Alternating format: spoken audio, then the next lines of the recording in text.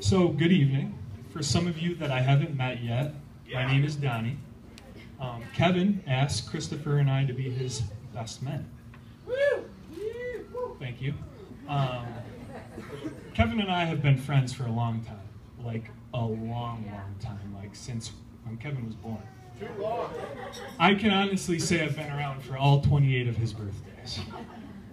Now, growing up across the street from one another, we did everything together, literally everything.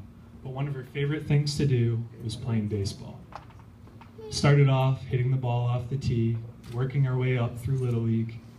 My father, Christopher's father, teaching us all the tricks of the trade. Our mothers driving us around to all the fields, keeping score, but most importantly, providing for snack night. Eventually, we started playing school ball, seventh and eighth grade, JV, varsity. One day, we could start driving ourselves. So our awesome mothers signed us up for driver's ed. Instead of driving home in between classes, I used to take Kevin on the back roads and let him drive for practice. He didn't have his license yet, because I'm the older one. Just a little fun fact for our mothers. Soon we graduated from high school and we went to separate colleges, but we always found time to hang. Occasional weekend, a long holiday, or of course, summer. Till one summer we were working then.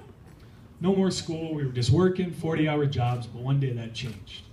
I said, Kevin, this whole working thing, just not for me. Not, not yet. Going back to school, I'm going to Fredonia. So just like the best friend Kevin has always been to me, he congratulated me with a big old smile, maybe a beer or two. As time went on, school started that year, August 25th, 2008. Kevin came up that weekend because it was a three-dayer. That Friday, we went out. We were like, yeah, we'll go out. We'll pick up some chicks, bro. Fist bump. Minus the fist bump. Ended up walking back that night, just the two of us talking old hunting stories. Night two was different. Much different. A lot more time to prepare. No work, no school work to get in our way. So we hit it hard. We hiked to this beautiful, classy dance club called Sunny's.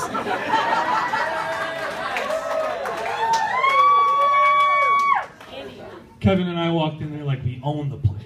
Ordered a couple drinks. It was only five o'clock. Ordered a couple drinks, and the next thing I knew, the two prettiest girls I've ever seen had us out on that dance floor, and we were dancing. Or at least trying to. So, like all good things, that night came to an end. We did the logical thing. We asked for phone numbers. The beautiful girl I was dancing with gave me a big fat no. The beautiful girl Kevin was dancing with gave him a number that was one digit short. Kevin did not realize this until the next day, which I spent listening to him tell me, "Oh, she did it on accident.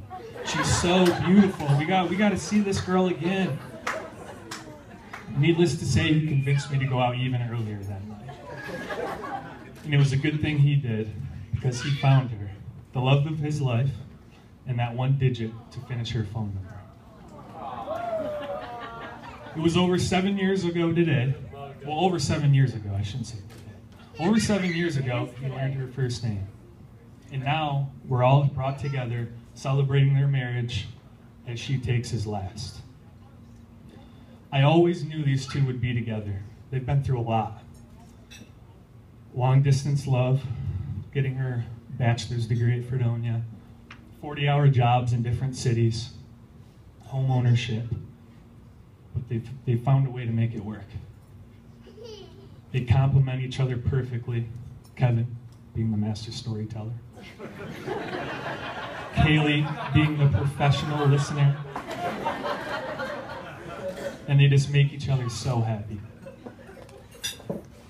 Recently getting married myself, don't know a lot about marriage, so like a lot of things in life we'll learn together. But I did want to tell you this. Always tell each other how important each other is. Forgive each other quickly and make yourself laugh, because that's contagious. I love you both so much. I'm so proud. Drop it like it's hot. Drop it like it's hot.